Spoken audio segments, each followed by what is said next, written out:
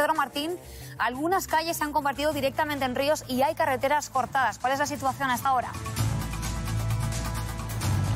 Pues como bien dices, compañera, hay muchas de esas carreteras, las principales continúan cortadas. Hay carreteras, caminos convertidos en auténticos ríos. Una muestra esta, la que os mostramos ahora mismo.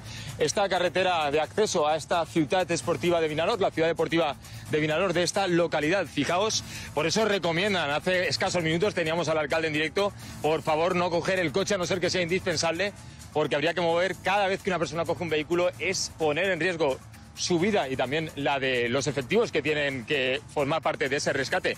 Rescate que decimos hay un dispositivo especial entre el Consorcio Provincial de Bomberos de Castellón, también tres brigadas de forestales, efectivos de policía local. El objetivo, velar por la seguridad de todos y cada uno de los vecinos de esta localidad de Vinaros.